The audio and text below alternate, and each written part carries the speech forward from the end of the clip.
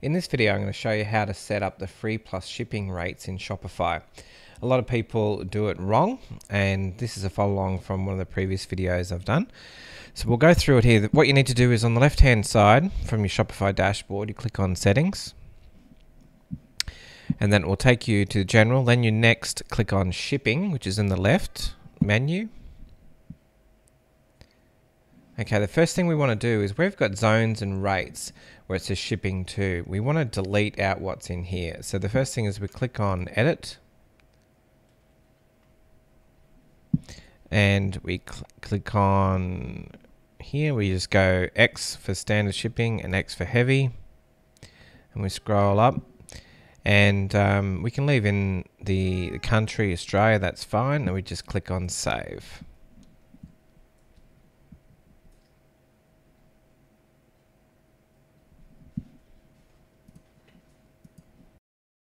Then we click back on shipping. And that's back to where we've... Uh, now all we need to do is get rid of the rest of the world. We click on edit. And we uh, click on delete zone. Delete shipping zone. And that will delete everything we go back. So now we only have one country in there. So if in the US um, it'll have US here. If it's in Australia we'll have Australia. It'll have mostly the country of um, whichever you're wherever you're from and that will go in there. You can change that if we want to. I'm just going to leave it for Australia for a moment.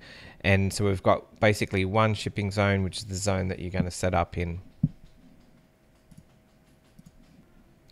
The next thing we want to do is down here um, is packages, save packages.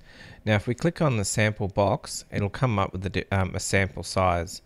Now um, all you need to do is check where it says weight, you just change that to zero and click save.